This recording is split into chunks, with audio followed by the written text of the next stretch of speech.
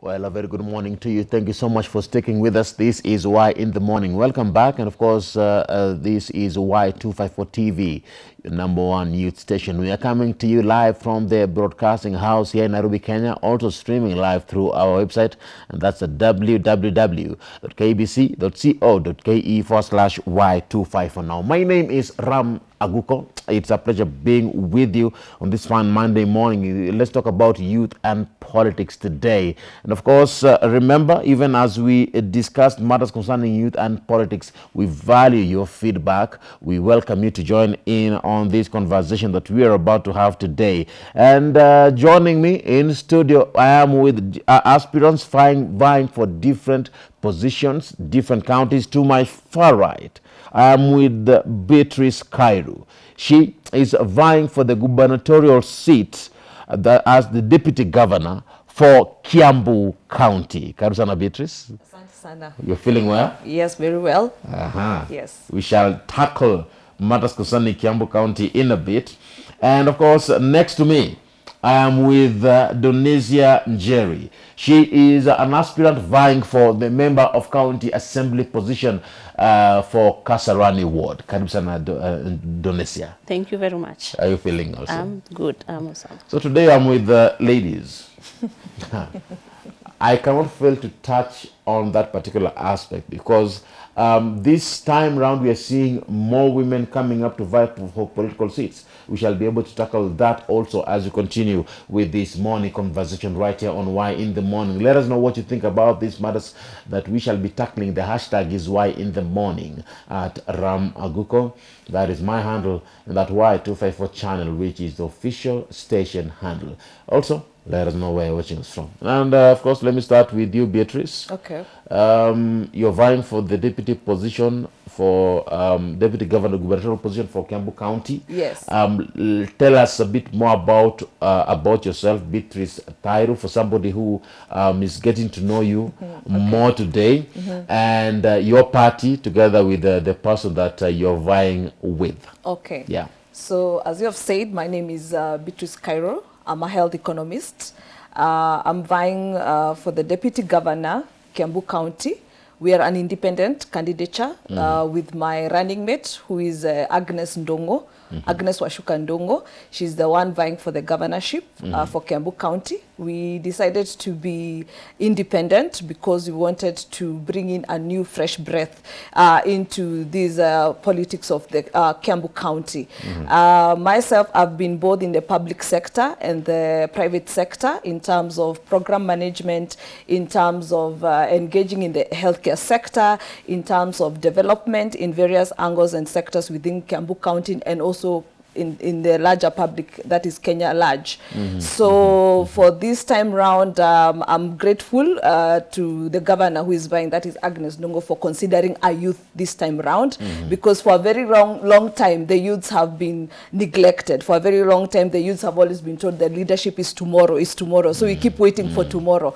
But her, she decided the leadership of the youth is today. So they need also to be engaged on the, uh, uh, on the round table. They need also to participate because if we don't have a, a, a generation that is being empowered, then there will be no generation in the future. So this is the time that the youths also need to participate. They also need to be part and parcel in the running of this uh, big country uh, of ours in, in, in terms even in the county government. So that is what we are bringing on board. Right, And uh, her being also um, a leader in her own uh, self, she has also a lot to bring on board because we have seen, uh, for example, like Kiambu County, the budget allocation for Kiambu County, only 2.7% is allocated for the youth, the women, and the children.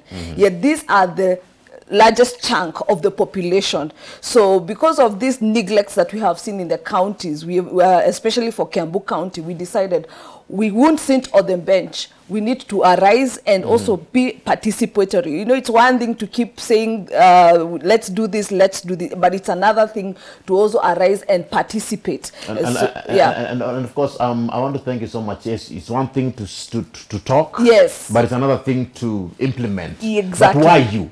Why should the people of Kiambu County say that you know what? Let's let's look at at, at, at Agnes Yes. and, and and and Beatrice. Yes. Why these two individuals? Why you?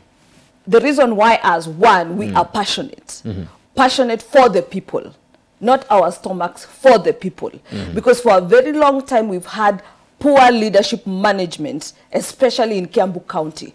Why people get the position they sit on those positions but at the end of the day they have their own selfish interests and selfish gains such that to the level the normal average Kiambu person doesn't benefit at all. So as we are bringing in passion as we are bringing in expertise as we are bringing in experience because the the key problem in Kiambu County is the management of the resources of the Kiambu people that have been entrusted to the leaders for them to manage, for them to ensure their systems working for the people.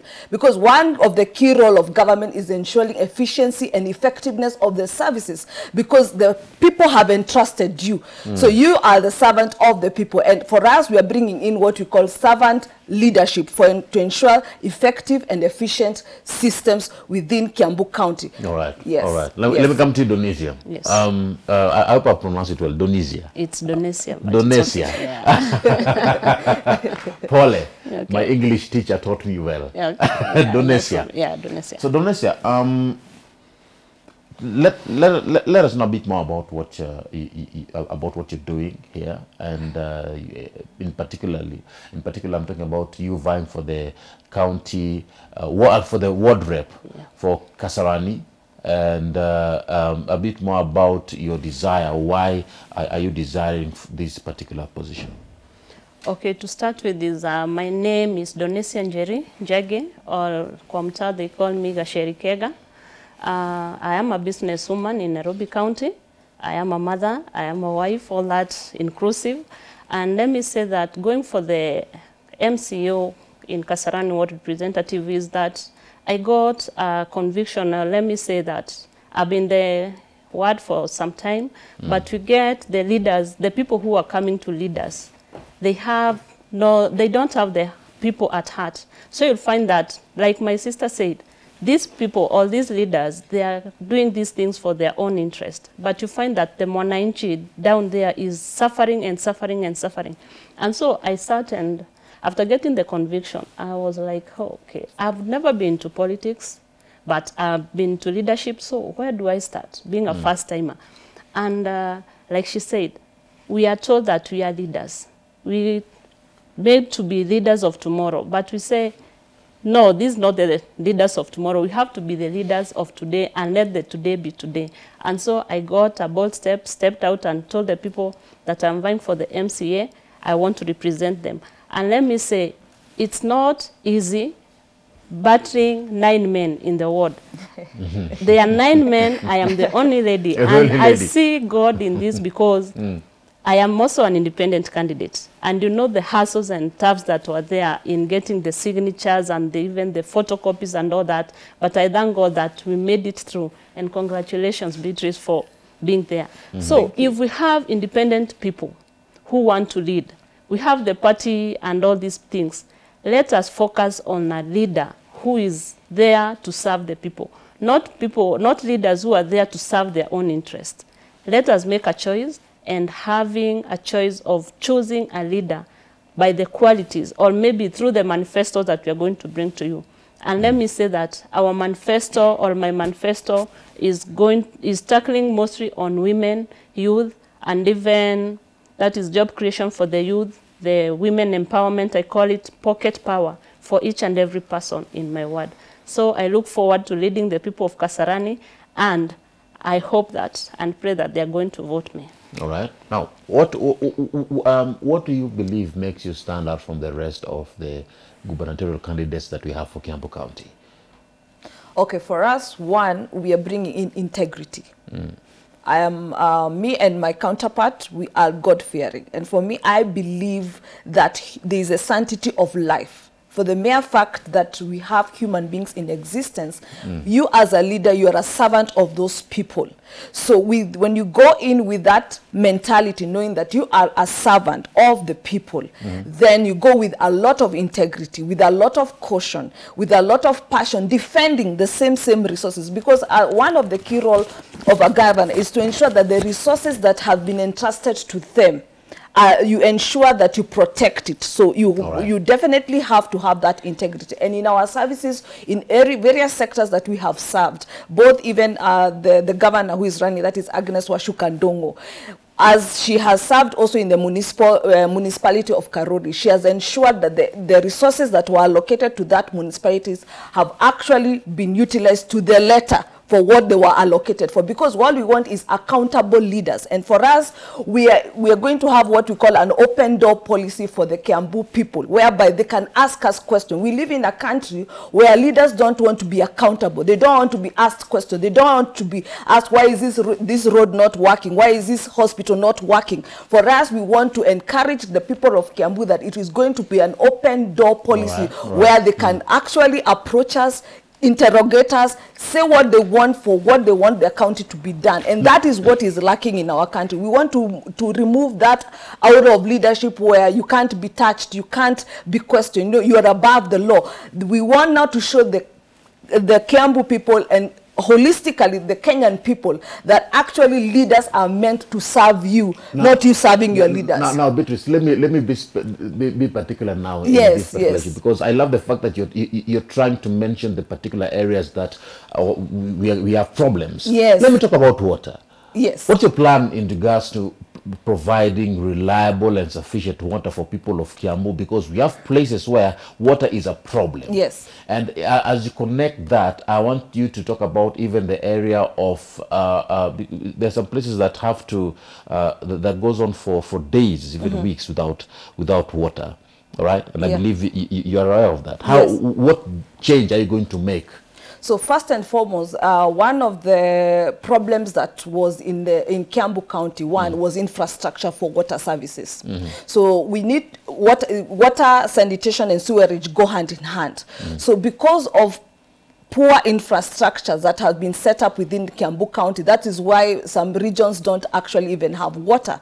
So we have other project waters that even come from uh, Mur- Muranga County that also feed into Kiambu County Yes, and other yes, water yes. allocation uh, mm-hmm. services. Mm. So once you set up the structures whereby water has to be directed into several of these sub-counties, that is where we need to put a lot of funding into it so that at least the homes or areas that don't have access to this water, they are able to get this water. So there are also other areas whereby uh, some regions where you do what we call borehole water drilling. This is something the county sh- is going to invest in so that those areas that maybe don't have water resources like rivers, they can actually even have borehole water which can ensure there is a lot of utility services for, for, for the water services. So, and you know that where, when there is no clean water, also health is also affected, right? So when we improve water and you improve the sewerage, uh, definitely you're also going to improve the health of that county. And number two, you know that 31% of uh, the, the revenue generated by Kiambu County is from agricultural sector.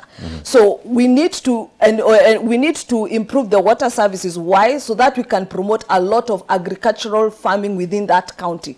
And once we improve the agricultural sector, what will happen? The women will be employed. The youth will be employed because we're also looking at job creation activities. Wonderful, Yes. wonderful. So because jobs are not necessarily sitting in an office. So we are trying to be broad. But now this time round, the hmm. same use we are in uh, we are in our 21st century where technology has improved. So these same youths are the ones who are very innovative Now and we want to incorporate into now, that. Now let me take you a few steps back. Yes. You mentioned that water is connected to health. Yes.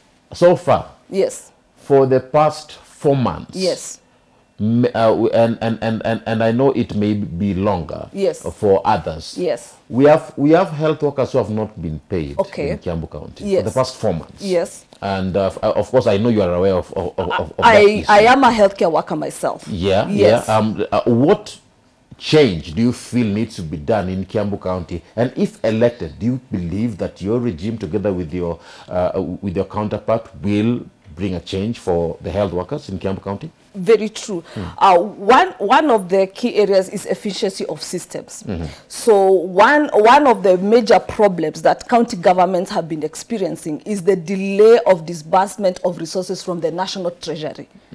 Are, are you getting? so it's for us as as a county government to know how can we push the national treasury to be ensuring it disburses the resources on time because this is the resources for the people. So it mm. is the duty of the government to, resist, to, re, to release the resources on time. That's one. Number two, what are the systems that have been placed in, in terms of, or if it's the payroll system, mm. in terms of when the budget is allocation, is the budget executed on time? you see, Alright, these are issues of, of, of leadership mm. whereby you have a budget, but because of either lack of integrity or either lack of passion or, or service to the people, somebody does not want to execute a budget. Because remember, in the county assembly, they have already passed a budget, which comes on the desk of the governor. So it is for you to push systems to ensure that whatever budget has been set your- on your table has been executed on time. All right, so yes, right, all right, yes, all that will, that will push. That will ensure we push. L- let me it. come to you, Donesia. Um, You can hear the, the, the things that she's saying she's going to push for the people of Kiambu. What are some of the agenda that you have for the people of Kasarani that you have said that you are going to achieve within the first 100 days once you get to office? Okay, for me in Kasarani ward, I thank my sister that she has so much insight being a governor. How I wish you were in Nairobi teamed up. But let me say, like she's saying, uh, about empowerment. That is women and youth empowerment. Mm-hmm. Unfortunately, in Nairobi, what we get is the, what do I call it? These agricultural things that you get from Roy and Kamuru and all those areas. But one, she said about women empowerment through agriculture. In Nairobi, you find that we have so many mama mbogas, these bike guys, the youths who are jobless. One thing I say is for our youth, not that there are no jobs for the youth. The jobs are there, but where who, or who will let these youths get to know how to get these jobs? So my priority is for the youth, as I said, women empowerment. With this, the moment we empower a woman, we empower the community. So, so uh, yes, you've said women, youth uh, are the uh, uh, particular groups that you're going to handle. Yes. Now, within the first 100 days, what are those issues that you you want, you want to achieve if you get into office concerning these particular areas that you target?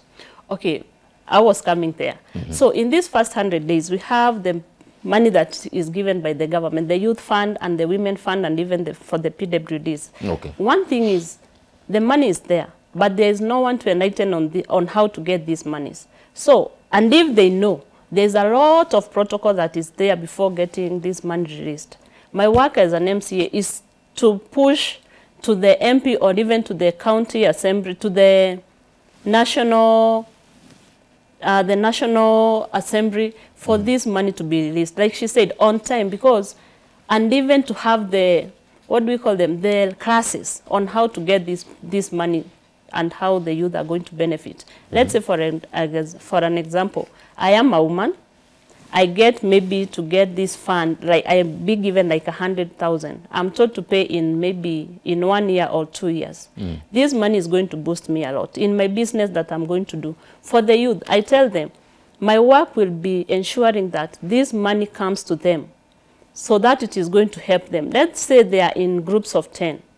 They are given like a 100K. They subdivide this money among themselves. So you find that maybe this guy sells oranges, another one sells cabbages, another one does this. At the end of the day, they are going to consolidate all this money, and you'll find that they are going to make a profit. They'll be able to give the interest, they make their profit, and they save something for themselves. Mm. We have them having families mm. they have families they want to feed, but they are jobless. What will they do? They start mugging us. So we say there's a lot of insecurity, but this insecurity can be curbed through giving them these monies or even knowing how to create these jobs for them.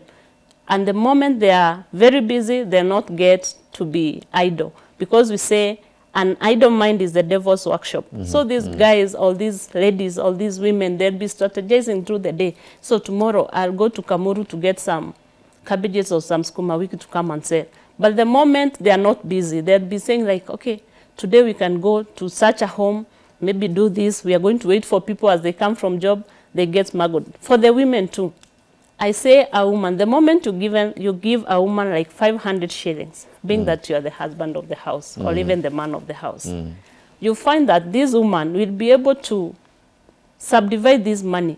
In that house, you are going to eat, have a big breakfast and all that, and even save for chama through these 500. But giving a man these 500 shillings, he'll be like, okay, nitafanya nini na hii pesa? so I say empower woman and you'll see the change. And d- d- Do you think that aspect of uh, women in leadership is uh, playing out during this time that you've been campaigning? Now that you mentioned that you're the only woman who is vying among all the men in, in, in, in, in, in Kasarani ward. Yes. Let me say the ground has been very positive, let me say, and we are seeing that people are embracing women being in politics or nickname. being in leadership. Yes. Have they given you a nickname so far? Nickname I'm Kasherikega. Hiyo tu. So any other hakuna. Hakuna ile mama Kasarani au mama ward? Ile mama Kasarani Yeah. kuna wale wako juu but hii ya huku wanasema sasa ni masaa ya mama. Masaa ya mama. Right. And mm. I thank God that ile symbol we are given by the other ORPP offices or the IBC I hmm. was given saa we call it hii saa sasa the clock ama. The clock, and yeah. I say it's now time it's about time now for women to be in leadership. Even if you look all over the world things are changing and women are getting these chances. And I say women you're going to win it. This is the hmm. time for women and it's women time for all, Now, all of us. uh, uh, Beatrice, Yes. um, still, this same issue of women. Um, Interestingly, I've not seen uh, any other aspirants in, in, in for uh, a Kiambu County gubernatorial seat Yeah. that is uh, w- uh, uh, f- completely women. There is no other, unless there is one that I'm, I'm, I'm- I'm not aware of. Yeah. I think you're the only one. Yes. Yeah. Yes. So, um, uh, h- how different is it panning out for you, campaigning and Okay. uh, trying to get the votes now that uh, uh, the gubernatorial uh, candidate, the governor, Yes. vying is Yes. uh, is a woman. Yes. You as a deputy vying for the same position, also a woman. Youth. is and a youth. a youth. It is a youth. youth. Yes. Uh, how different is it now? um, uh, uh, the beauty of it, we're in the 21st century, and people have realized uh, issues are not gender. Mm. When I'm hungry, mm. as a woman, as a man, you're also hungry. Hunger doesn't Hunger doesn't know gender. any gender. Exactly. Mm. Health does not know any gender. Uh, when it comes to work and earning in, in terms of does not know any gender. Mm-hmm. So at the end of the day, we are now moving from gender-based issues and now to economical issues do we have somebody who has a solution to manage the issues at hand irrespective of your gender because once we move away from fighting gender issue based you know fighting gender maybe that's when as a region even as an african continent we'll be able to move forward. Because at the end of the day you ask yourself who can do the job that's the question. Who can do the job? And that is where people need to be focusing on. So for us uh, given an opportunity uh, and that's why I'm, I'm, I'm really grateful uh, to Agnes. We are calling her Mama Nakazi. Mama ni Agnes. Why? Because this time round she is the only one who has decided let's take a youth and for us, the youth, it, it, it, doesn't matter whether you're male or female. So long as you're youth, you have now been brought on to the table to do it. So this time round, people are a bit civilized. Uh, people are, are, are a little bit uh, um, literate and realizing that even what uh, it, doesn't matter what your gender is so long as at the end of the day can you deliver? That is where people should be focusing. Has that person delivered? Because obviously for the last 10 years we have had uh, people who are male uh, seated uh, uh, uh, as governors. And look still the same issues are still pending. Because how can 2.7 percent be allocated in the budget for the hugest chunk of the population that is children women and the youth that tells you there is a problem somewhere. So maybe this time around we need someone who is also going to focus on the on the 75 percent of the population that has I- not yet been uh, has not yet been looked has not yet been looked into. But that does not mean we do not revere the role of a man on in society. We have to be clear on that. Here we are not just saying uh, you know you, you know feminism where we now exclude the male genderism. No no no no. We are saying, we are just trying, are you the one better placed with the solution to bring everyone on board? There will be no discrimination and say now the men have been forgotten because I know sometimes people cry, oh, the, the boy boy child child, the boy child is forgotten. No, no, no, the boy child is not forgotten because one way or another, the boy child, the girl child, all came from a woman, right? Mm-hmm. So at the end of the day, it, it is for us to ask ourselves, who has the, the, the, the integrity, who has the knowledge, who has a way out or a solution out to help us as a community? I, I wish we had the time. Yes. We would go to the nitty gritties. I almost went. yes. We would mention the nitty gritties. You Yes. mentioned uh, 24 billion. How many, uh, uh, how many? You mentioned some, some amount of money that was allo- allocated. No, I was saying 2.7 percent 2.7%. of the budget. No, there's something billion that you mentioned earlier. That I, unless I, I'm, I'm thinking in billions. But, but I wish you could be able to mention the integrities. Okay. But let me let, let, us bring it um, and, and give it a general loop Yes, here yeah. and come to the youth pers- perspective. Okay. And this go, goes to the both of you. All right. We've seen campaigns where youth have have uh, gotten rowdy. Yes. And and and we see stones, you know, uh, uh, uh, being be, being thrown, you know, at vehicles, at choppers, Yes. at at you know, and and people getting hurt and wounded. Mm-hmm. Uh, We need to make this election different, Mm-hmm. yeah, and we need to start with uh, knowing what the role of the youth is Yes. when it comes to promoting peace, especially during elections. Your thoughts on that, uh, uh, uh, uh, Donesia? Donesia Yeah. is the name. So one thing I'll say is our youths, and I'm very sorry to say this, the moment we were doing the ID collections or even the yeah, the ID collections, I noted that most of these youth don't have IDs and they also have no voters card. So you find that these youths are not voters. So what will happen? They are going to be used by maybe our opponents to make everything look rowdy for you. So I'll say, as youths, let everybody be engaged where you're supposed to be. If you're not going to vote, just remain at home so that you are not going to cause chaos. And if you are youth and you are going to vote, just vote, go back home. Because we want a peaceful election and we want to have, let me say, we want to have maybe getting back to our works after 9th August. This is a one-day thing and can cost us too much of our time. Mm. And you find that the, mo mom the moment you are not working, our economy is not growing. So I'd advise, like, for the youth, let us not be used by any politician. And I'll say, for my case, being a woman, it's getting tough battling these nine men in my ward because you'll find that, ah, we am super hata una any. But I tell them, the moment you're given 50 bob or even 100 shillings, and you vote the wrong person in because of the money he or she gave you, you are going to get into a root shock. Coming five years down the line, you'll be eating that 100 shillings for five years, not remembering that for these five years you are going to be suffering. So- wanakuuliza wanakuambia ati hauna pesa Yeah, because at the end of the day, you can't be able to sustain all these people kwa ground. Mm. So what will happen is the little you get, maybe you give them the little you get, but you'll find that even tomorrow when you go back there, wanakwambia mhesh, saa ni aje, si ucheza kaa wewe. You know how these you talk, eh? Uh -huh. So you find that mm. today maybe my opponent has money. He comes, gives them. Mwingine comes and give them when you go there tunapewa mia mbili tunapewa punch sijui tunapewa nini. Maybe you've gone with a hundred bob. For them it is not like money. So you find that you're going to be attacked by them. You can even have a physical attack. So i'll say for our youth mabro tukue na siasa safi siasa ya amani But- so let us focus on having a great kenya where we are going to vote and vote wisely But, but, but, but now I think we need to change this this narrative. Um, I'm, I'm looking at the perspective of handouts and, and, and, and how it is it is affecting um, voter turnout.